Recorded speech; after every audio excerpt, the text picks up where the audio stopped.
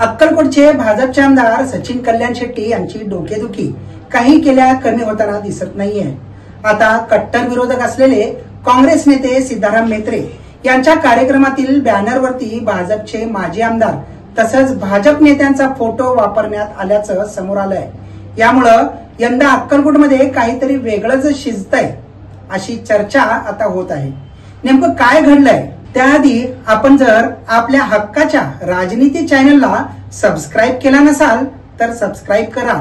जेणेकरून आमचे अपडेट्स तुम्हाला वेळेवर आणि लवकर मिळत राहतील. सचिन कल्याण शेट्टी यांना पुन्हा उमेदवारी देण्यावरून अक्कलकोट भाजपमध्ये दोन गट पडले. यातील मोठा गट सचिन कल्याण शेट्टी यांच्या विरोधात गेल्याच्या बातम्या समोर आल्या. यानंतर फडणवीसांमार्फत कल्याण शेट्टींनी नाराज नेत्यांना मनवण्यासाठी प्रयत्न सुरू केले. भाजपच्या एका टीमनं नाराजांना भेटून त्यांच्या भावना जाणून घेतल्या. त्यामुळे काहीशी नाराजी कमी झाल्याचं बोललं गेलं. पण आता काँग्रेस नेत्याच्या कार्यक्रमातील बॅनरवर भाजप नेत्यांचे फोटो लावण्यात आल्यानं चर्चेला उधाण आलंय.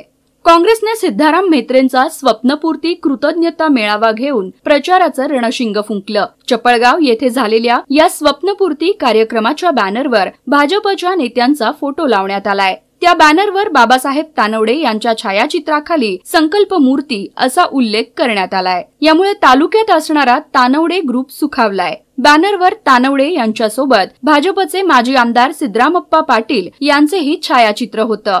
यामुळे अक्कलकोट मतदारसंघातील सिद्धरामप्पा पाटलांना मानणारा जो वर्ग आहे तो देखील सुखावल्याच्या चर्चा आहेत. पाटील आणि तानवडे हे कल्याण शेट्टींवर नाराज असल्याचं बोललं जात आहे इतकंच काय तर पाटील यांचे चिरंजीव रमेश पाटील हे भाजपकडून उमेदवारी मिळो अथवा न मिळो आपण निवडणूक लढवणार असा शड्डू त्यांनी ठोकलाय.